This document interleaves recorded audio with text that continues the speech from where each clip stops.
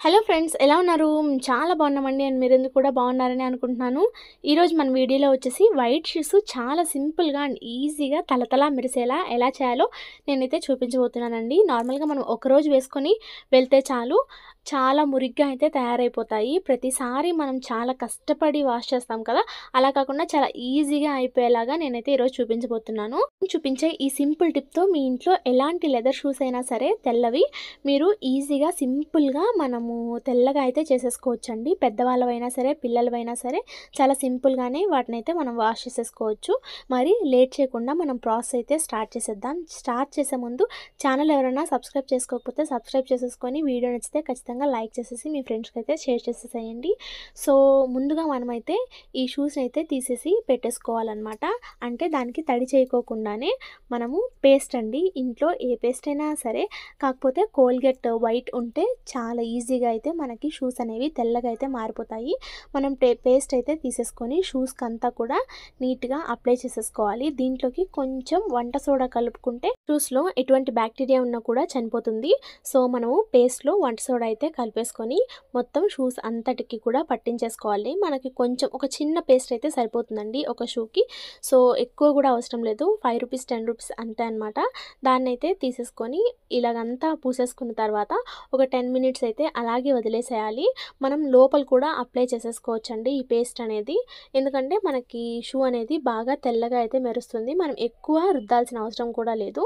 ఇంకా ten minutes తర్వాత కొంచెం వాటర్ అయితే చల్లుకునేసి బ్రష్తోనే కొంచెం అలా వాష్ చేసినట్టు మొత్తం అయితే రుద్దేసేయాలన్నమాట.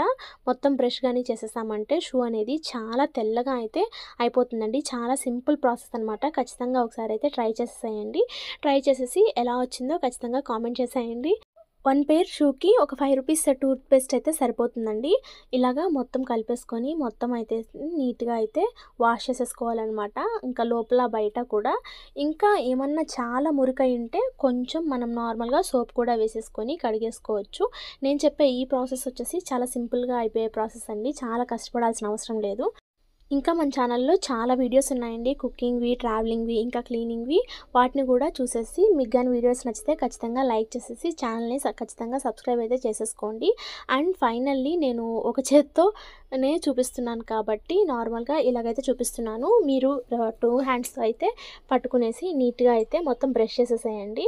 నేను వీడియో తీసుకుంటూ చేయడానికి కొంచెం కష్టం అనమాట సో ఫైనల్లీ నేనైతే మొత్తం ఉద్దేశాకైతే చూపిస్తున్నాను. ఇంకా మొత్తం ఈ బ్రష్తోనే అయితే కడిగేసానండి ఇంకా ఫైనల్లీ మొత్తం అయితే రుద్దేశాను. సో అంతా కడిగేసిన తర్వాత వాటర్తో అయితే కడిగేసేయాలి. దీంట్లోకి కొంచెం మనం బ్లూ అని వేసేసుకొని అద్దేసామంటే షూ అనేవి మంచి కలర్లోకి అయితే వస్తాయి. సో షూ అయితే చూసారు కదండి? ఇప్పుడు వీటిని వాటర్ అయితే వేసేసి నీట్గా మొత్తం అయితే కడిగేసుకోవాలి. ఇంకా కొంచెం కంఫర్ట్ కానీ వేసిన నీళ్ళలో అద్దితే షూ అనేది మంచి వాసన అయితే వస్తుందండి. అంటే నార్మల్గా పిల్లలు వేసుకొని వెళ్ళడం వల్ల కొంచెం వాసన అయితే వస్తాయి షూ కానీ సాక్సెస్ కానీ దానివల్ల మనకి అంత వాసన రాకుండా ఉండాలంటే కొంచెం కంఫర్ట్ వాటర్లో అయితే అద్దితే షూలు కూడా మంచి వాసన అయితే వస్తాయన్నమాట. అండ్ ఫైనల్లీ షూ అయితే నేను మొత్తం అయితే ఇలా క్లీన్ చేసేసాను. ఇంకా నీడలోనే ఆరబెట్టేసాను అనమాట అండ్ ఫైనల్లీ షూ అంతా ఆరిన తర్వాత ఇలాగైతే ఉన్నాయండి. So thanks for watching the video friends bye bye